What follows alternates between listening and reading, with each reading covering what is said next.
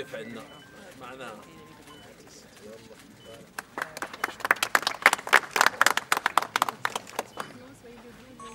على كل هذا المشروع هذا اللي كنعتبره إنه مشروع إيجابي جدا ومشروع جوهري وهو الاهتمام بالوضعية الاجتماعية للموظفين. وهكذا خلقنا خلقنا روض الأطفال في كل من الرباط وفاس ومكناس وقلميم ولأنه هيئة في الدار البيضاء. وسنهيئ في مراكش في الأقرب الأجال وذلك للاهتمام بأبناء الموظفين والموظفات اللي غادي يستفدوا من هذه الخدمة هذه باتفاق مع مؤسسة التعليم الأولي. وأنا أعتقد بأنه كلما قدمنا خدمات اجتماعية للموظفين كلما كانت مساهمتهم في السير الإداري وفي وظيفتهم أفضل. لذلك أنا مسرور جدا وأشعر بنشوة كبيرة لنجاح هذا المشروع هذا.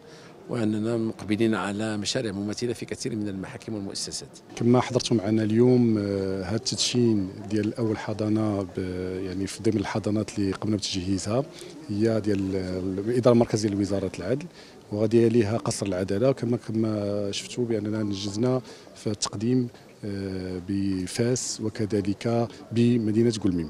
اذا هذه الحضانات في إطار اتفاقية الشراكة اللي عندنا مع المنظمة المغربية للنهوض بالتعليم الأولي اللي كالتسميه هي اتفاقية اللي غتمكننا أننا نديروا التدبير ديال هذه المرافق هذه بطريقة حرفية بطريقة آمنة اللي تمكن أن المنخرطين ديالنا وهم العاملين دابا بقطاع العدل والسجون أنهم يستافدوا من هذه الفضاءات حتى أننا يستطيعوا أنهم يشتغلوا في فضاءات ملائمة. كتمكنهم بأنهم يكونوا الأبناء ديالهم بالجوار ديالهم ويقدروا يطمئنوا في العمل ديالهم ويقدروا نحافظوا على ذاك الاستقرار وهذيك نربطوا بين الحياة المهنية والحياة الخاصة.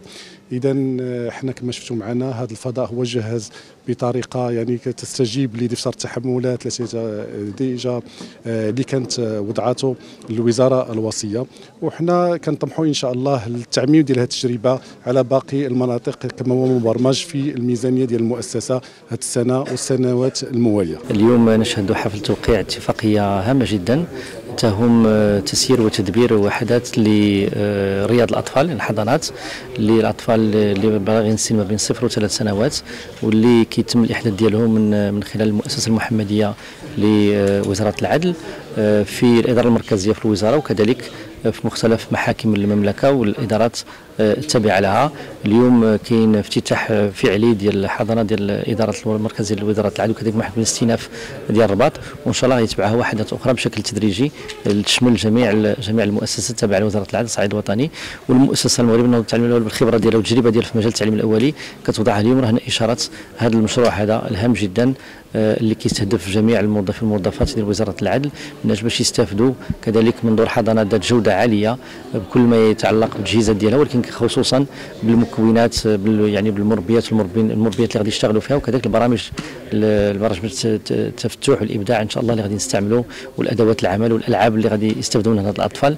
وكذلك الملاحظة ديالهم والتتبع ديالهم. باش ملاحظة اي أي شيء اللي ربما يبان غادي يكون تأثير على المستقبل ديالهم من الناحيه الصحيه أو من الناحيه النفسيه ديالهم باش يتم كذلك التدارك ديال هذا الشيء. هذا في يعني في سن جد مبكرة وهذا بطبيعة الحال كيدخل في اهتمام القوي ديال صاحب جلاله نصره الله في كل ما يتعلق ببناء الإنسان والتنمية البشرية بشكل بشكل بشكل عام.